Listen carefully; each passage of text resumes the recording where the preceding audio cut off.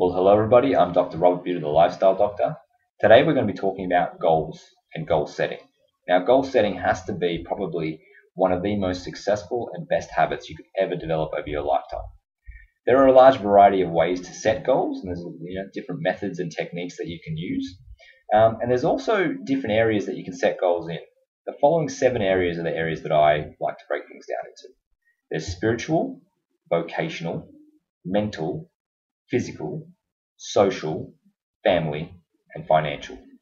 Now, those seven areas, they're the areas that you should be focusing and writing down your goals in. Now, what's interesting is that there was once a study where they examined the personal successful habits of um, rich people, millionaires and billionaires.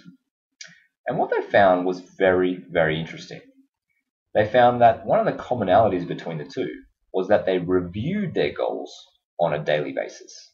And that's what we're going to be talking about today reviewing your goals. That is the most important thing. You can write them down, but if you don't look at them, you're not really going to get much out of it.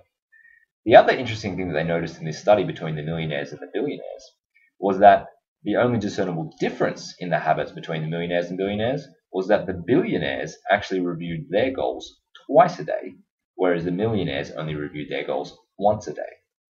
Interesting, isn't it? The other thing that's interesting is that reviewing didn't simply mean reading the goals. Reviewing meant actually sitting down and rewriting the goals regularly.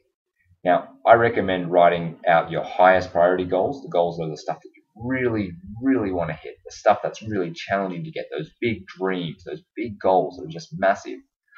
Write them out once in the morning when you get up and once in the evening before you go to bed. So your action steps going forth from today are twofold. One, work out your goals in all that area, in all those areas. Two, make sure that you write them down and make sure that you write them down regularly, twice a day, once in the morning, once at night. Have a fantastic day, everyone, and enjoy day 15.